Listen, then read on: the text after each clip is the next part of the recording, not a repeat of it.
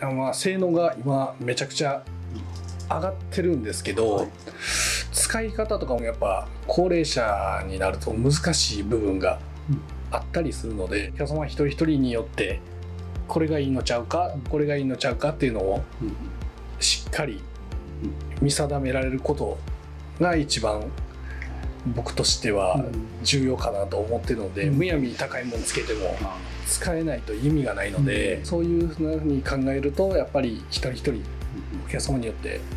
もう電子レンジでもチンだけでいいっていうお客様もいらっしゃったり、も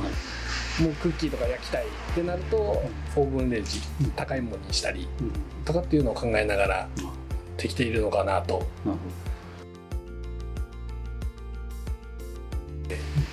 電話かかってきてから行くスピードがやっぱり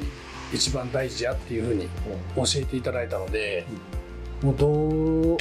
電話かかってきてもあの次仕事が混んでても、その仕事すぐ終わったらもうすぐに現地向かう、もうそのスピードが仕事してる上では一番大事やっていうふうに言っていただいたので、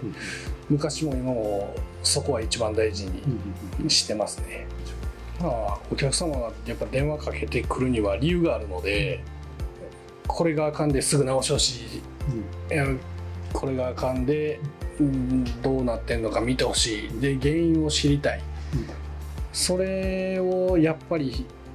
いち早く、お客さんに伝えて、直すとやっぱり喜んでくださいますし、また電話かけてくださいますし、も信頼関係ですよね。